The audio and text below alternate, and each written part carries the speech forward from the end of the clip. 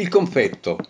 Ieri, oggi e domani è il tema di un convegno organizzato dalla delegazione di Sulmone dell'Accademia Italiana della Cucina, guidata da Giovanni Maria Damario, tenuto nell'Auditorium San Pampido del Centro Pastorale Diocesano a Sulmona.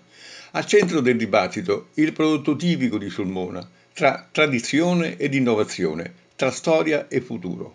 Come è cambiato il confetto e la sua promozione nei secoli? Come tutelare il prodotto tipico? A queste ed altre domande hanno risposto i relatori, ciascuno per le proprie competenze, il professor Mario Pelino, docente universitario, il medico Gian Vincenzo D'Andrea e l'avvocato Vittorio Masci.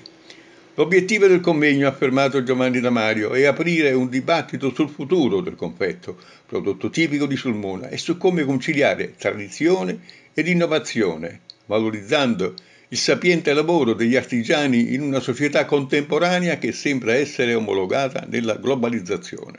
Sono intervenuti il sindaco di Sulmone Gianfranco Di Piero, il vescovo Michele Fusco, il presidente della Fondazione Carispac Domenico Taglieri.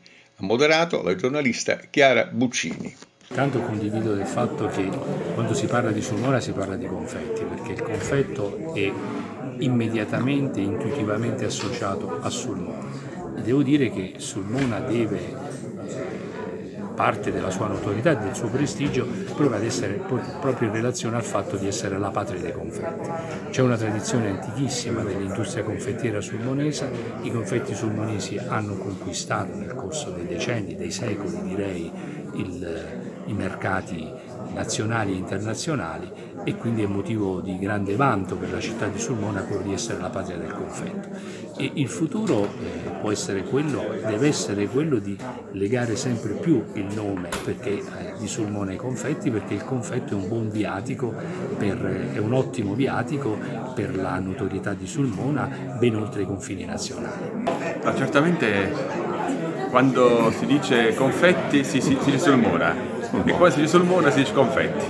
Il binomio è sempre molto forte, ecco, dovunque andiamo, in tutti i paesi, anche all'estero, troviamo questo bel binomio. E questa realtà ha una radice molto religiosa, confetto, non solo perché lo usiamo per tutte le feste religiose, un matrimonio, un battesimo, certo. eh, ovunque un anniversario, c'è un confetto, un colore, un tipo, un sapore che dà gioia, fa festa. Certo. Dall'altro lato perché furono proprio le, le monache clarisse di Santa Chiara a inventarsi all'inizio questo confetto, ah. questo zucchero e queste mandorle, cominciarono ecco, a mettere insieme questi due ingredienti e cominciò un primo elemento, un primo confetto. Sono qui come esperto di tecnologia e scienza dei materiali con le mie competenze, invitato dall'Accademia a fare questa prima presentazione e anche in qualche modo con la mia esperienza nei campi della confetteria. E qual è il futuro secondo lei del confetto, il domani del confetto?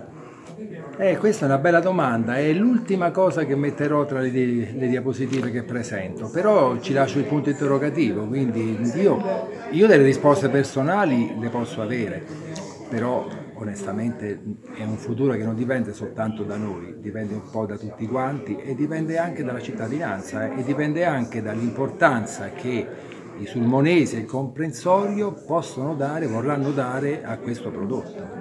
Quindi non è una risposta che posso dare soltanto io. Io posso entrare nell'ambito tecnico, scientifico, questo sì, perché su questo ho competenza. È una delle caratteristiche e delle peculiarità di Sulmona quindi noi dell'Accademia dobbiamo mantenere la territorialità, quindi il meglio del confetto insieme all'aglio e a Ovidio non ci rappresentano nulla. Qual è il domani? Perché avete scritto ieri, oggi e domani. Qual è il domani del confetto? Domani lo chiediamo a loro, vediamo un pochettino che cosa Noi oggi lanceremo delle, delle idee e, e, delle proposte.